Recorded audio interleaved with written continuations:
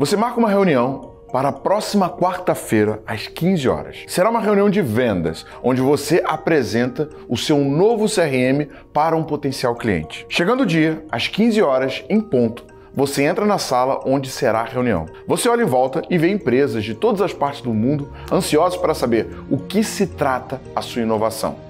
Empresas são de São Paulo, Nova York, Hong Kong, Xangai, de Dubai e de Paris. Milhares delas na mesma sala de reunião, prontas para pagar pelo seu produto em dólar, euro, Bitcoin. Você termina a reunião, fatura milhões com vendas e então você tira o seu óculos VR e vai brincar com seu filho, que está no quarto dele, bem na sua frente. Tudo aconteceu dentro da sala de estar, enquanto você estava sentado no seu sofá. Sim, isso é possível e o nome disso é metaverso. Se você atua no mercado B2B e ainda não se integrou ao metaverso, você está ficando para trás. Mas você ainda tem tempo e assiste esse vídeo até o final, que na última parte eu vou te mostrar exatamente como você pode entrar nesse mercado. Em 2003, foi lançado Second Life, um jogo no qual você entra em um mundo virtual com um avatar e interage com outros avatares de outras pessoas reais, numa espécie de mundo paralelo. Em 2021, o Facebook mudou o nome para Meta, mostrando que a construção do metaverso seria seu foco a partir daquele momento. O mundo das redes sociais iniciou uma nova fase,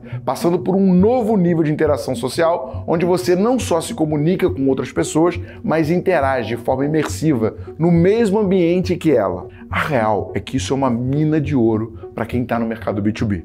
Você pode fazer imersões e treinamentos para a sua equipe de vendas, reuniões com potenciais clientes, exposição da sua marca em um ambiente do mundo virtual tudo sem barreira geográfica, econômica ou sociais. No metaverso, você pode ir para onde você quiser em segundos, sem sair de casa. O mercado internacional está aberto para você exatamente agora. Uma pesquisa realizada pela Harvard Business Review revelou que a comunicação presencial é 34 vezes mais efetiva do que uma comunicação baseada em texto. Isso ocorre porque, segundo o psicólogo americano Albert Mehrabi, a comunicação não verbal representa representa 93% de efetividade de comunicação. É isso mesmo, 93%. Apenas 7% da nossa comunicação é verbal. 38% vem do tom da voz e 55% da comunicação é visual, ou seja, tem a ver com o nosso comportamento corporal e facial. Por isso, reuniões presenciais são muito mais efetivas em vendas. Ou seja, suas vendas podem aumentar em até 34 vezes em uma reunião de negócios presencial. Agora, o que inviabiliza isso? O custo, o deslocamento aéreo, entrar no avião, viajar, pegar um Uber, pegar um carro, tudo isso aumenta o teu custo de aquisição, criando uma barreira para esse tipo de abordagem em vendas. E é por isso que quem entrar no metaverso vai ter uma grande vantagem em relação aos seus concorrentes, pois lá você pode marcar uma reunião de negócio presencialmente, sem custos de viagem, uma vez que tudo que você tem que fazer para chegar ao local da sua reunião é pôr o seu óculos VR, apertar um botão e estamos lá. Mas a capacidade de fazer reuniões presenciais com pessoas de qualquer parte do mundo sem custo é só a pontinha do iceberg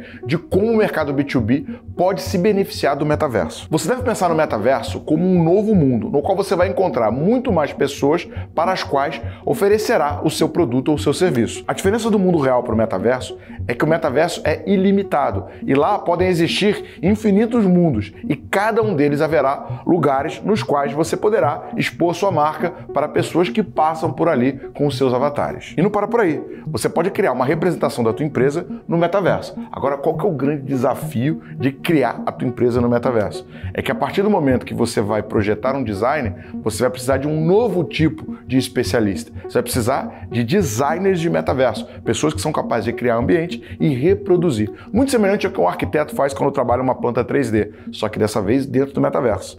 Pode parecer que vai ser mais econômico ter a tua empresa no metaverso, mas não necessariamente isso vai acontecer, porque para decorar a tua empresa você vai precisar de NFTs, de itens decorativos e outros elementos que podem custar muito mais caro do que o mesmo objeto representado de maneira física no nosso mundo real. Ó, nesse momento eu estou num espaço da Vogue, então se você prestar atenção, além de ter várias exposições de arte, várias coisas bacanas da Vogue, eu consigo ver aqui, ó, revistas da Vogue, eu posso clicar e elas vão abrir tá? Eu posso vir aqui em cada uma dessas artes que são NFTs que estão à venda e eu estou usando nesse momento um espaço virtual que é chamado de Spatial, tá? Você cria uma conta gratuita e você pode perceber, né? Uma representação praticamente perfeita. Até o meu casaco laranja eu estou usando e o meu rosto é muito parecido porque quando você cria uma conta no Spatial, você sobe uma foto sua e ele recria o seu avatar a partir dessa foto. Se eu quiser comprar qualquer uma dessas NFTs, é só eu ir lá né, na minha carteira no MetaMask e pagar por ela e agora nesse momento ela é minha.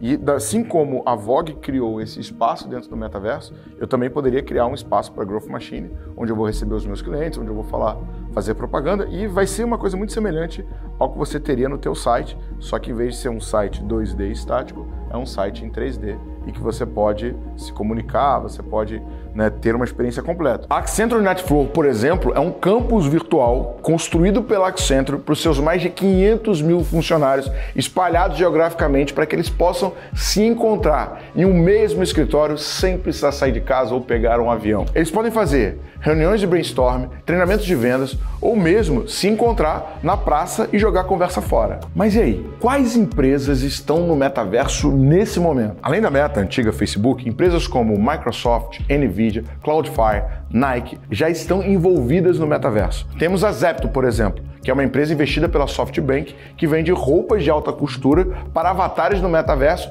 e já foi avaliada em mais de um bilhão de dólares. A Gucci tem lançado desfiles no metaverso e vendido versões digitais dos seus produtos para os avatares das pessoas.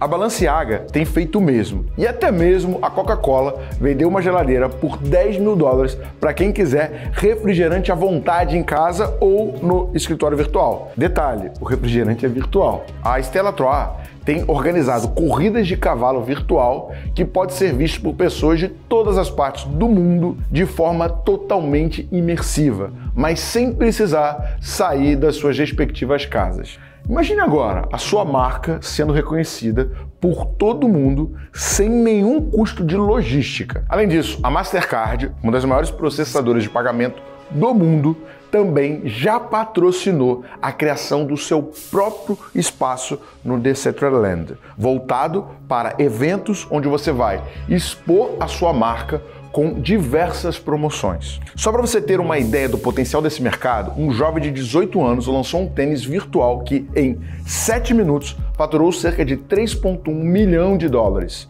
E por isso que esse mercado não pode ser ignorado de jeito nenhum. O metaverso também é um ambiente útil para fazer simulação do mundo real. Qual o uso que você pode ter no metaverso se você é uma construtora, por exemplo?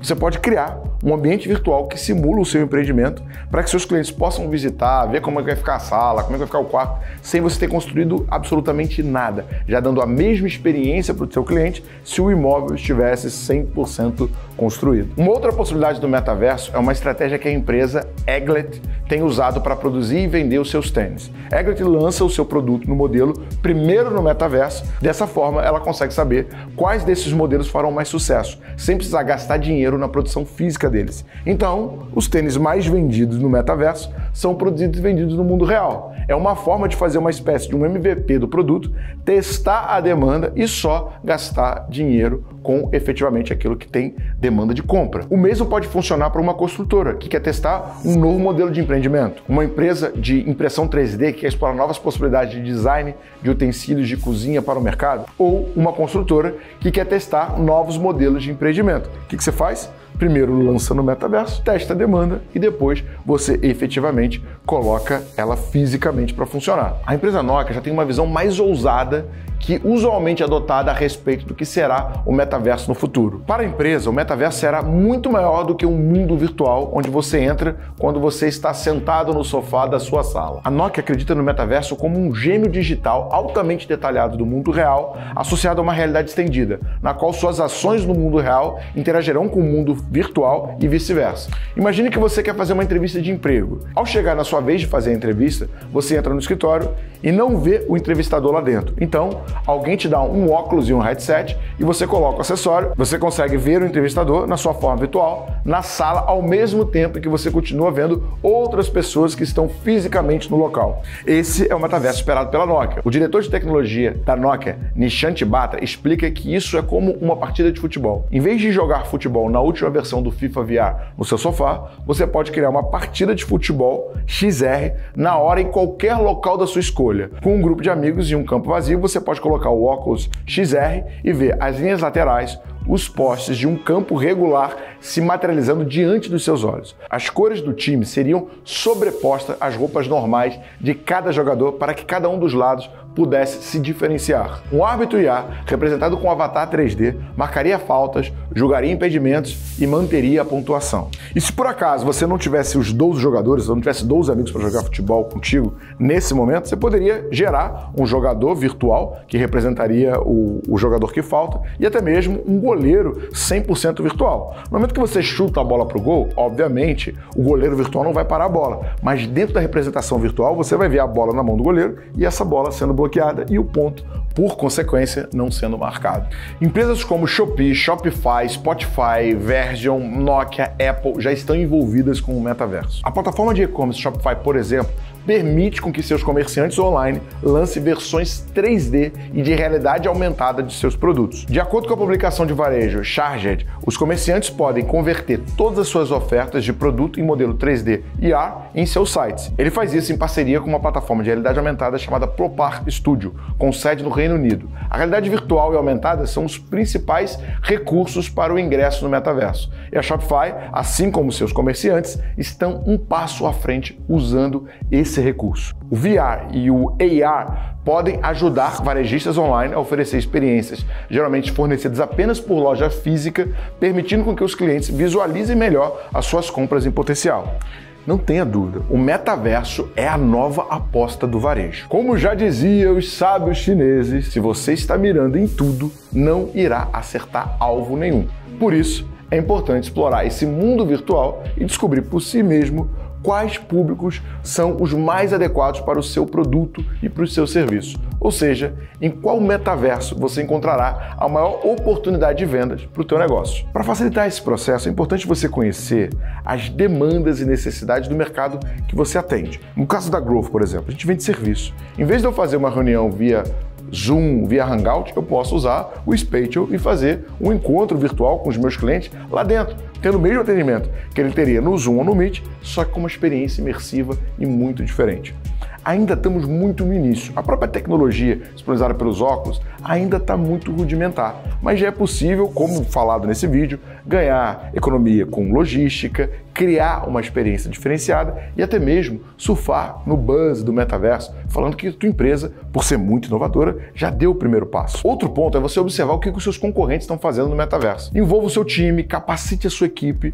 mostre como o tema é importante, crie palestras e discussões falando sobre o metaverso para que o seu time possa entender o tamanho da oportunidade que está surgindo e também começar a se familiarizar com esse novo mundo. Outra estratégia é o seguinte: você não precisa gastar muito dinheiro ou muita energia testando o metaverso. Você pode analisar o que, que as empresas do seu segmento ou seus concorrentes internacionais estão fazendo nesse momento usando o metaverso. Assim você vai saber exatamente o que funcionou, o que não funcionou e replicar apenas o que dá certo. Uma empresa que faz muito isso é a Meta, antiga Facebook. Por exemplo, lá atrás eles tentaram comprar o Snapchat, o Snapchat não quis vender, eles foram lá e criaram a função dos Stories.